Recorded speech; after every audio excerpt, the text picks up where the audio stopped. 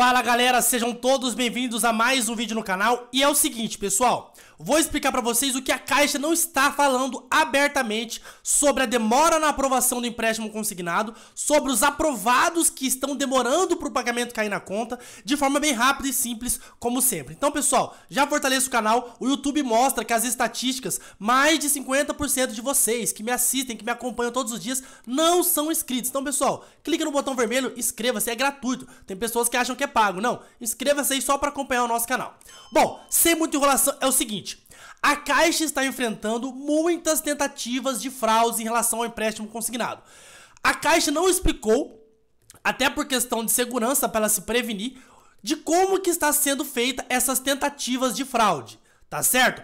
Agora, um ponto que está acontecendo também que está atrapalhando a Caixa é a pessoa que compõe uma família, mas não é responsável familiar, está tentando solicitar o empréstimo consignado. É claro que não vai conseguir. Só é possível solicitar quem é o responsável familiar. Está acontecendo muito esses erros e aí atrasa a análise da caixa. Se a pessoa responsável familiar pediu e outra pessoa da mesma família pediu que não é o responsável familiar, atrasa a análise.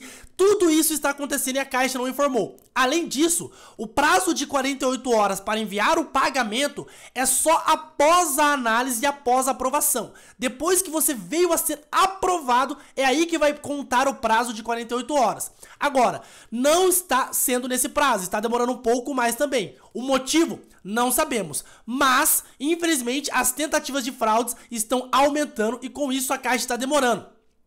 O problema do em processamento, que muitas pessoas estavam aprovadas, depois passou para em processamento, ou está direto em processamento, está demorando muito. Pessoal, é por conta desses problemas. A análise da caixa, as tentativas de fraude, faz com que a caixa demore para analisar e para te aprovar. É por isso que tem pessoas que são aprovadas quase que de imediato e pessoas que estão há cinco dias aí esperando e não são aprovadas. Por quê? Uma análise difere da outra. Para uma pessoa é mais simples, para outra família de outra composição familiar é mais complicado. Então é isso que está acontecendo, não tem muito segredo. E infelizmente, ah, o que, que eu tenho que fazer então?